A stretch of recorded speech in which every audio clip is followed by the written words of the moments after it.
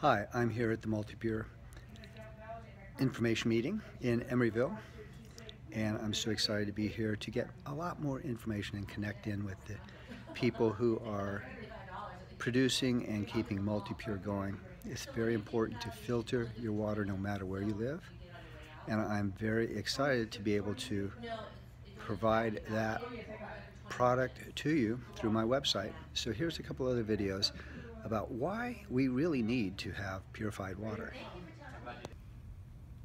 All right. Hi, my name is Michelle Priest. I'm the Director of Marketing for Multipure.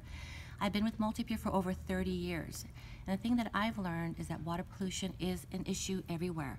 We're all familiar with the Flint, Michigan crisis, but it happens all around the country, also in areas that are, are you would assume great water like Portland.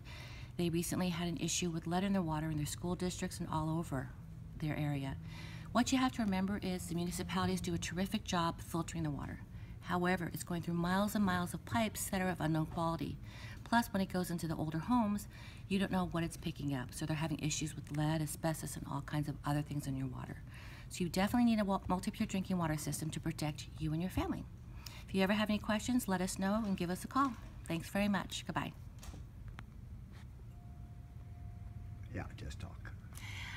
So bottled water. Bottled water is an issue all over our world today. Did you know that it takes 450 years for one bottle of water to decompose?